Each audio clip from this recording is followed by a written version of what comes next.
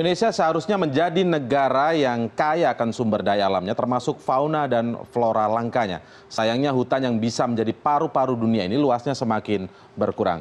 Dari kita lihat dari peta vegetasi awal sekitar 84 persen luas daratan Indonesia adalah hutan primer dan sekunder. Deforestasi yang terus-menerus terjadi membuat luas hutan semakin terkikis.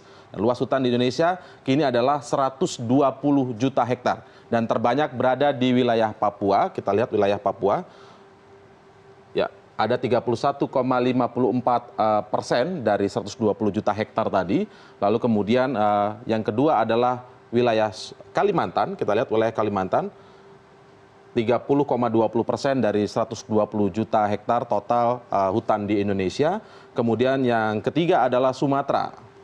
Baik, kita lihat Sumatera datanya adalah 19,16 persen dan terakhir adalah Jawa dan Sulawesi yang luasnya 19,10 persen dari 120 juta hektar uh, hutan atau total luas dari total luas hutan yang ada di Indonesia. Dan Indonesia termasuk negara dengan tingkat deforestasi tertinggi di dunia yakni sekitar 680 ribu hektar per tahun. Pembukaan dan pembakaran lahan terutama di lahan gabut mengakibatkan Indonesia kehilangan keanekaragaman hayati yang cukup besar dan menghasilkan emisi gas rumah kaca tertinggi ketiga di dunia. Dan Hera, sebagai informasi bahwa Indonesia adalah pemilik dari hutan hujan tropis terbesar ketiga di dunia selain uh, Brasil dan Kongo.